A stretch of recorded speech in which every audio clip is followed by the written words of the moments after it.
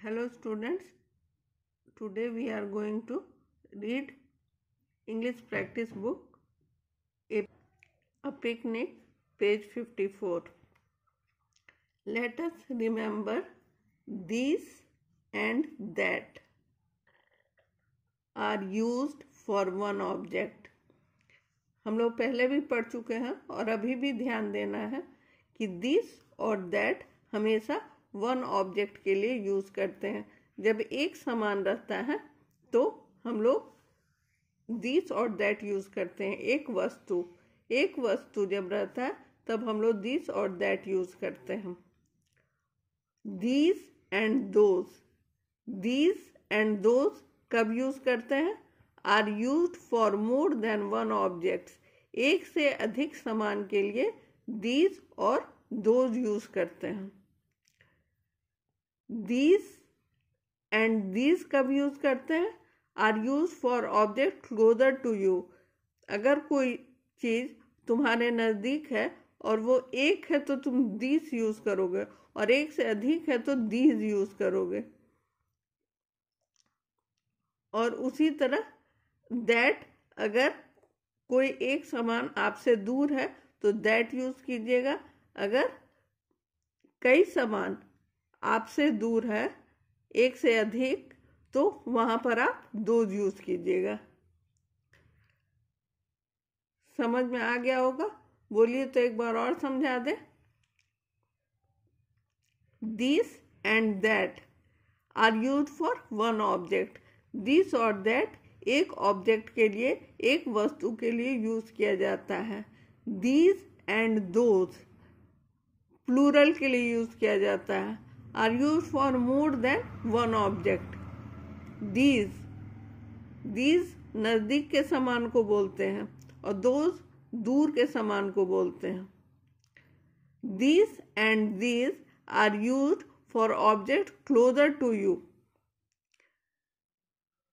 अगर सिंगुलर चीज़ हमारे नज़दीक है तो उसमें दिस लगेगा टी एच आई एस और अगर प्लूरल चीज़ हमारे नज़दीक है तो उसमें T H E S E लगेगा। Are use for objects closer to you that and those that and those are use for objects away from you that अगर एक समान आपसे दूर है तो दैट लगाएँगे। अगर एक से अधिक समान आपसे दूर है तो दोज लगाएँगे। अब हम लोग सेंटेंस को देखते हैं। Now fill in the blanks with this and this fill in the blanks with this and these यहाँ एक हैन है। तो हम लोग कहते हैं दिस इज़ अ हैन एक हैन है तो कहते हैं दिस इज़ अ हैन और वो एकदम नज़दीक है। पास है। यहाँ पे दिस लगाते हैं। This are use for objects closer to you ये आपसे एकदम नज़दीक है, इसलिए यहाँ दिस लगाए हैं।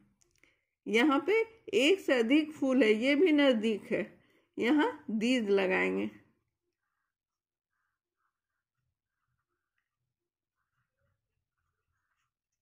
यहाँ बॉल सिंगुलर पर्सन है सिंगुलर थिंग है, ये नज़दीक है, यहाँ पे दिस लगाएँगे।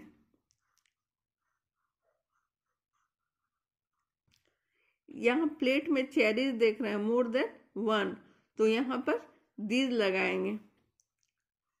दीज आर चेरीज यहाँ पर इस गर्ल के हाथ में पेंसिल्स देख रहे हैं मोर देन वन तो यहाँ पर भी दीज लगाएँगे। दीज आर पेंसिल्स यहाँ इस बॉय के हाथ में सिर्फ़ एक पतंग देख रहे हैं। तो this is a kite this is a kite. This is a kite. ये तो हो गया पेज 54 अब पेज 55 में क्या है? Second fill in the blanks with that and those. That or those. Fill in the blanks with that or those. यहाँ कहीं कहीं दैट लगाना और कहीं कहीं दो लगाना है।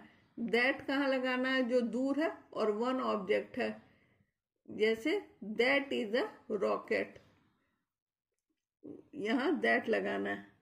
दैट इज़ अ रॉकेट यहाँ पे स्टार्स अनेक हैं तो यहाँ पे दोज लगाएँगे। स्टार्स तो हमेशा दूर ही होते हैं, यहाँ दोज लगाएँगे। Those are stars butterflies more than one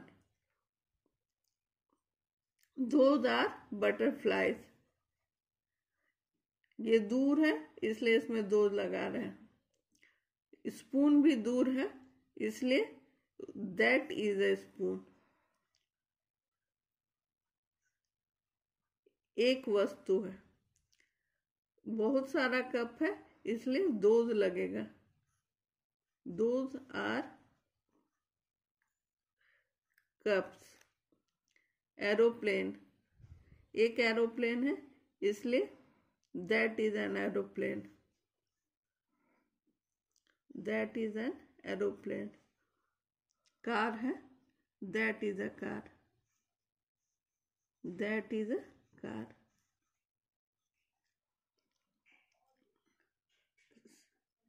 समझ में आ गया होगा? पहले पेज में पेज 54 में दीस और दीज लगाना था। जो एक है, उसके के लिए दीस लगाना था और एक से अधिक के लिए दीज लगाना था। और पेज 55 में जो दूर है, लेकिन एक वस्तु है, उसके के लिए दैट लगाना था, और जो अनेक वस्तु है, उसके के लिए दूध लगाना था। ये दूर की ही बात इस पेज में की जा रही है। अगर एक वस्तु है तो दैट लगाएँगे, और एक से अधिक है तो दोज लगाएँगे। जैसे दो आर स्टार्स इसी तरह से। आप लोग ये दोनों पेज पेज 54 और 55 करके भेजिएगा। Thank you